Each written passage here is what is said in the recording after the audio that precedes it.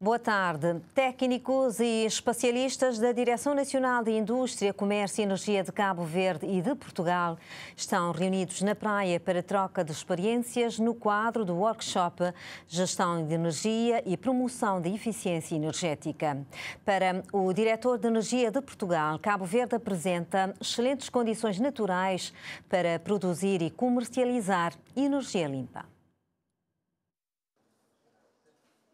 Hoje em dia, quando se fala de consumo consciente, remete-se logo para a importância da capacidade de minimizar os desperdícios e maximizar o aproveitamento da energia, tendo em conta as alterações climáticas. Daí o conceito da eficiência energética, isto é, fazer mais com menos energia ou também utilização racional do recurso. É este um dos objetivos do meeting que reuniu alguns técnicos portugueses e cabo-verdianos para troca de experiências sobre ações desenvolvidas enquadrada no Programa Nacional de Sustentabilidade Energética. Esse workshop está enquadrado dentro do programa de visitas de, de uma delegação da nossa congênere de Portugal,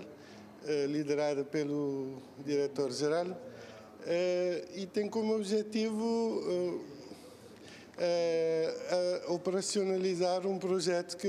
que que temos em execução, que tem o financiamento do Instituto Camões, eh, que visa precisamente esse objetivo, um foco muito centrado na promoção da eficiência energética,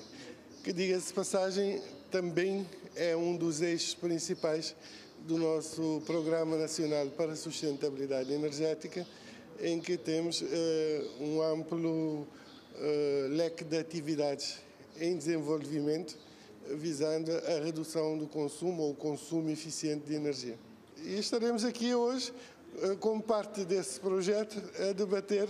eh, as experiências eh, de Cabo Verde e de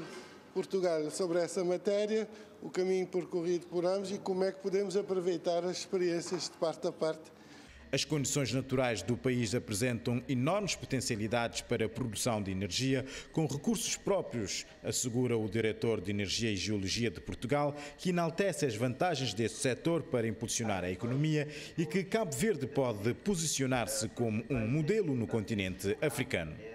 Portugal olha para a transição energética como uma oportunidade económica se nós podemos produzir a nossa própria energia com os nossos recursos, seremos mais competitivos. E acho que é isso que Cabo Verde ambiciona e é isso que nós queremos, enquanto Direção-Geral de Portugal, contribuir uh, e ajudar Cabo Verde nesse sentido. O Cabo Verde tem recursos ótimos, sol e vento não falta, uh, como Portugal, sol e vento uh, não falta,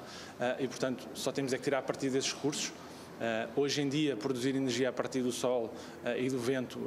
é extremamente competitivo se olharmos ao que tem acontecido nos últimos anos, e Portugal está a tirar parte dessa vantagem, já estamos a ver os resultados, e Cabo Verde certamente fará, quer fazer o mesmo, uh, e os resultados vão estar à vista muito, muito, muito em breve.